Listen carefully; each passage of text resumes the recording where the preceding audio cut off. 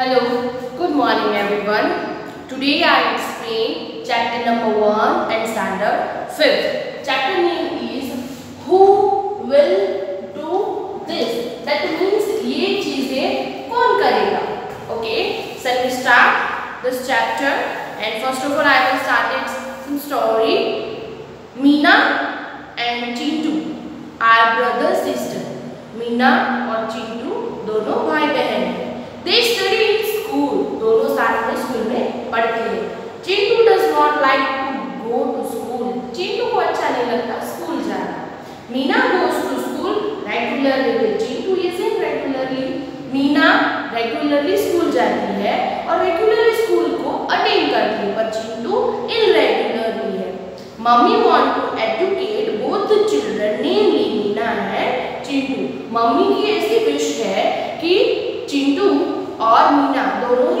पढ़ लिख के आगे बढ़े। Grandmother tell both of them a new story every day उनके जो ग्रैंडफादर है, वो हर रोज उनको एक नई स्टोरी बताते हैं। Grandmother teach them how to sing और जो ग्रैंडमदर है, वो उसको गाना गाना सिखाते हैं। Chintu and Meena are dear to all in the school Chintu और मीना दोनों को स्कूल में बहुत पसंद करते हैं they are friendly with all the student in the school school के अंदर सारे स्टूडेंट के साथ फ्रेंडली बिहेवियर करते हैं mom and dad are not worried about Chintu study और मम्मी और डैडी को बहुत टेंशन होती है चिंटू की पढ़ाई को लेके। They keep a close watch at they going to school regularly और वो चाहते हैं कि चिंटू हर रोज स्कूल जाए और रेगुलरली स्कूल को अटेंड करे। नाउ थिंक एंड से यहाँ पे दिया हुआ है थिंक एंड से तो question number one what would you Chintu dislike going to school first of all Chintu को स्कूल जाना क्यों अच्छा नहीं लगता वन फ़र्स्ट ऑफ़ ऑल क्योंकि सुबह उन लोगों को जल्दी उठना पड़ता है ना wake up the early in the morning that's Chintu को तो पहला वही रीजन है कि इसके लिए उसको स्कूल जाना अच्छा ना लगता हो। Second number what would you Chintu dislike in school शायद चिंटू को स्कूल के अंदर क्लासरूम के अंदर बैठ के पढ़ना बोरिंग लगता हो, या फिर पढ़ाई में कुछ समझ में नहीं आता है। इसके लिए या तो फिर उसको क्लासरूम के अंदर बातचीत करनी है और टीचर्स उनको पनिशमेंट देते हैं। क्लास में कंट्रोल करके बिठाते हैं. दैट्स वाई उसको स्कूल जाना पसंद नहीं होगा. तो ये सारे रीजंस हो सकते हैं. बेटे according to let's have you answer आप अपने हिसाब से भी उसके अंदर आंसर लिख सकते हो. Number two primary duties duties का मतलब हमारी जो फ़र्ज़ होता है, हमारा जो ड्यूटी होता है, हमारा जो काम होता है वो तो primary duties we get many facility where we decide और डिवॉल्व हम जहाँ पे रहते हैं या तो फिर हमारे आसपास का जो एरिया है वो फैसिलिटी हमको मिलती है तो वो सारी फैसिलिटी को हमें ध्यान से और संभल के यूज़ करना चाहिए to privilege and maintain their in our moral उसको संभल के यूज़ करना वो हमारी ड्यूटी है, हमारी रिस्पॉन्सिबिलिटी है। We use water and hands it is our duty utilise it carefully हम पानी का यूज़ करते हैं तो पानी का हमें वेस्ट नहीं करना चाहिए, क्योंकि इस दुनिया में बहुत सारे लोग हैं जो सुबह उठ के हमें पहली चीज़ तो पानी की ही ज़रूरत होती है। वाटर इज़ नेसेसरी सो हमें उसका उपयोग अच्छी तरह से करना चाहिए। उसका वेस्ट हमें बिल्कुल नहीं करना चाहिए और अगर आप जगह पे देख भी रहे हो कि उसका वेस्ट हो रहा है तो स्टॉप द टैप आप उस नल को बंद करो ताकि पानी का वेस्ट ना हो. It is our duty to maintain the tree street and our environment हमारी ड्यूटी क्या है कि हम जहाँ पे जो स्ट्रीट के अंदर रहते हैं, हमारे आसपास जो ट्री है ट्री को हमें पानी देना चाहिए ट्री की हमें देखभाल करनी चाहिए ताकि वो हमें शुद्ध हवा, यानी कि एयर और ऑक्सीजन दे और एनवायरमेंट और ट्रीज और पानी, इन सब चीज़ों का अगर हम ध्यान से यूज़ करेंगे तो इससे हमारा जो एनवायरमेंट है, बहुत ही नीट और क्लीन रहेगा। Is our right duties and utilize our amenities and wisely and rationally. इन सब चीज़ों को समझदारी पूर्वक यूज़ करना हमारी प्राइम ड्यूटी है। Next page Yes, you can see properly this page. And this page is the first observation. Boy is open area. Boy है वो ओपन एरिया में बैठ के टॉयलेट कर रहा है. एंड सेकेंड गर्ल इज़ वो टॉयलेट जाने के लिए टॉयलेट का यूज़ कर रही है.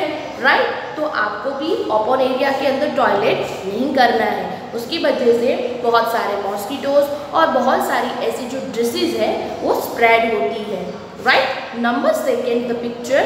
देखो, नंबर सेकेंड के अंदर किसी ने अपने हाउस के पीछे ही जो यूज़ किया हुआ वाटर है, वो वहाँ पे बहने के लिए रख दिया है राइट और सेकेंड पिक्चर में देखो हाउस के नीचे तीन तरह के वहाँ पे वन काइंड ऑफ़ नेप लगाए हुए हैं, जिसके अंदर से पानी निकल के एक जगह पे बहता है और बह के वो सूख भी जाता है। तो इससे स्ट्रीट गंदा नहीं होता है और इससे बहुत सारे डिसीज भी स्प्रेड नहीं होते हैं। और हमारा जो स्ट्रीट है और उसका जो एनवायरनमेंट है बहुत ही नीट एंड क्लीन रहता है। नंबर थर्ड नंबर थर्ड के अंदर देखो एक गर्ल है, वो अपने हाउस के आजू बाजू ही जो कचरा है, वो वहाँ पे साफ़ करके वहाँ पे घर के आजू बाजू ही कचरा रख रही है। तो ये बैड थिंग्स है और ये बहुत ही बैड हैबिट्स है। तो बाजू की पिक्चर के अंदर देखो, जो गर्ल है वो डस्टबिन के अंदर कचरा डाल रही है putting your dustbin the bad things तो ये उसकी गुड हैबिट है। तो जिससे हमारे आजू बाजू का जो एरिया है वो बहुत ही क्लीन रहेगा और हम कहते हैं कि जहाँ पे स्वच्छता होती है, वहाँ पे ही प्रभुता होती है। चलो number third think and say do you throw garbage in dustbin yes या नो यस कोर्स हम गार्बेज डस्टबिन के अंदर ही डालते हैं। गार्बेज यानी कि कचरा। Do you use toilet yes हम टॉयलेट यूज़ करते हम ओपन एरिया में जाके टॉयलेट नहीं करते do you wash your hand with soap before eating and after using the toilet आप क्या खाना खाने के पहले आप हैंड को वॉश करते हो यस और आफ्टर यूजिंग टॉयलेट क्या आप अपने हैंड को वॉश करते हो यस टॉयलेट जाने के बाद हमें हमारे हैंड्स को बहुत ही अच्छी तरह से वॉश करना चाहिए। यस हम ये करते हैं। Do you realise up water through drain gutter and safety tank yes हमारे घर में सेफ्टी टैंक होता है।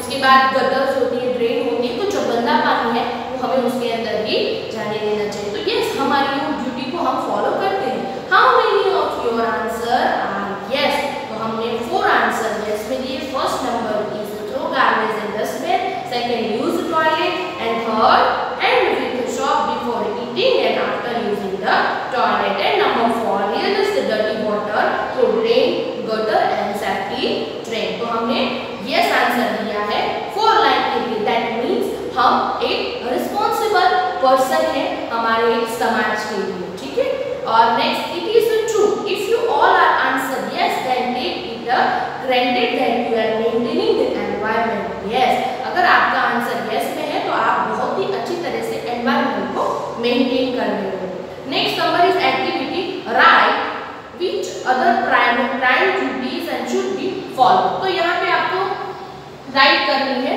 जो आपके अकॉर्डिंग हो और आप उस ड्यूटी को जो फॉलो कर रहे हो वही आपको राइट करनी है number one yes for example I in my own experience कि हमें जो ट्री है ट्री को हमें वाटर देना चाहिए एवरी डे उनका हमें ध्यान रखना चाहिए ताकि वो हमें फ्रूट प्योर वेजिटेबल्स और जो प्योर शुद्ध जो हवा है, जो एयर है, वो हमको दे। हमारा पहला प्राइमरी है। नंबर सेकेंड जो वाटर है, उसे हमें वेस्ट नहीं करना चाहिए।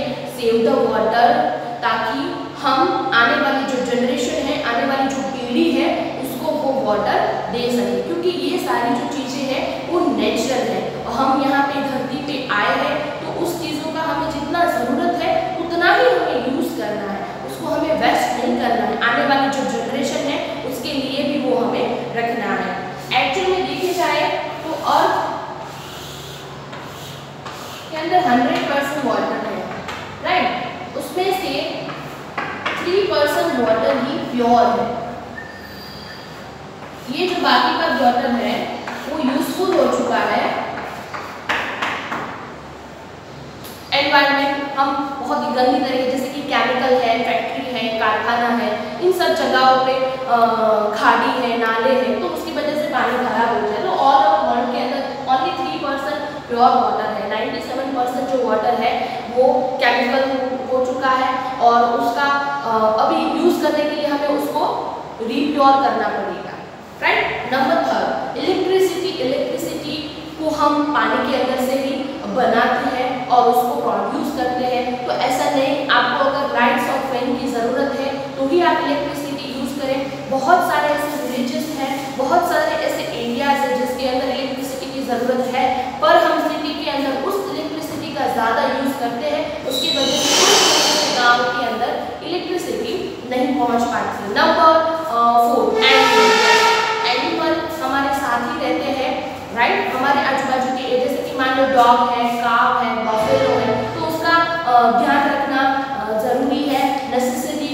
और उसकी वजह से हमें मिल्क उसके बाद छाछ बटर ये सब चीज़ें हमें एनिमल से मिलती है।